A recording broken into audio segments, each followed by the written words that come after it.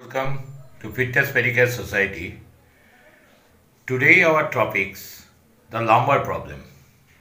आज हम लोग lumbar problem के ऊपर तीनों lumbar problem के ऊपर डिस्कस करेंगे ये तीन चारों रोज हम लोग जिस जिस साइड में वर्कशॉप किए हैं और कैम्प किए हैं उसमें हम लोग देखे हैं ज़्यादा से ज़्यादा मरीज़ कमर का तीनों प्रॉब्लम से ज़्यादा सफ़र करते हैं या प्रॉब्लम फेस करते हैं। आप लोग सभी जानते होंगे, और आप लोगों को भी अंदर ऐसा ही है।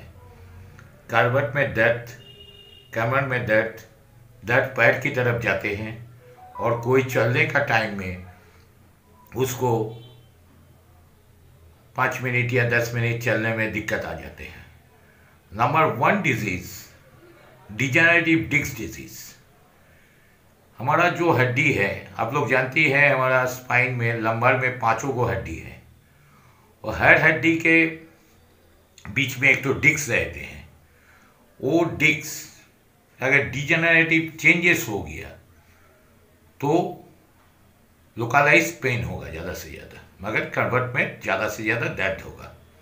ये लोकलाइज पेन ये डिक्स बनते हैं पानी जैसे चीज़ के लिए। एट्टी परसेंट इसमें पानी रहते हैं। अगर पानी कोई कारण से सूख जाते हैं, उसमें कुछ प्रॉब्लम आ गया या एज का कारण में सूख गया, तब दोनों हड्डी में घिसट रहे हैं और इसमें पेन का जन्म लेते हैं। ये प्रॉब्लम में फिजियोथेरेपी एंड एक्सरसाइज बहुत पोजीशन रखते हैं, मगर फिजियोथेरेपी एक्सरसाइज से हम लोग इसको अच्छा से अच्छा ट्रीटमेंट कर सकते हैं। सर्जरी सिर्फ़ दो परसेंट का ज़रूरत पड़ते हैं। इसके बाद हम लोग जाते हैं स्लिप डिक्स अगर कोई डिक्स हमारा थोड़ा सा स्लीप होकर निकाल गया, वो स्लीप होकर निकाल जाने से बाद लंबर में क्या होता है, ये कौन सा जगह में ज़्यादा दिखाई देते हैं?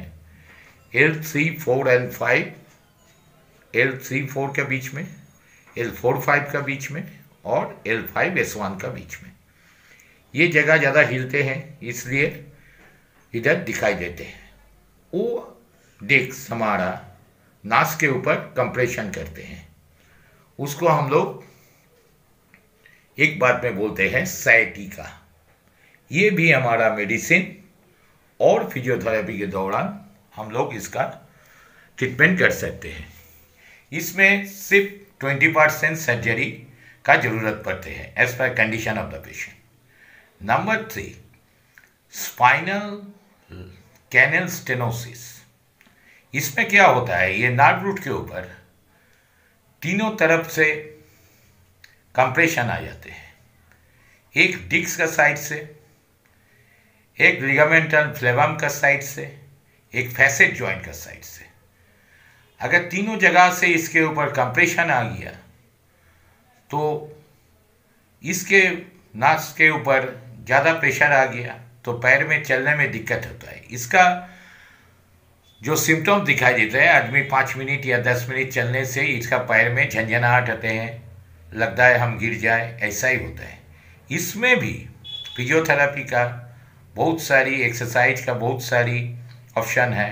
उसके साथ एमआरआई करने के बाद डॉक्टर्स लोग देखते हैं कितना दूर तक ये कंप्रेशन हुआ। उसके बाद सर्जरी मानते हैं। अगर ऐसा वीडियोस आप लोग देखना चाहते हैं, सुनना चाहते हैं और दूसरा के साथ शेयर करना चाहते हैं तो हमारे साथ मुलाकात कीजिए और दूसरा आदमी को भी इसके साथ शामिल कीजिए। अगर आप लोग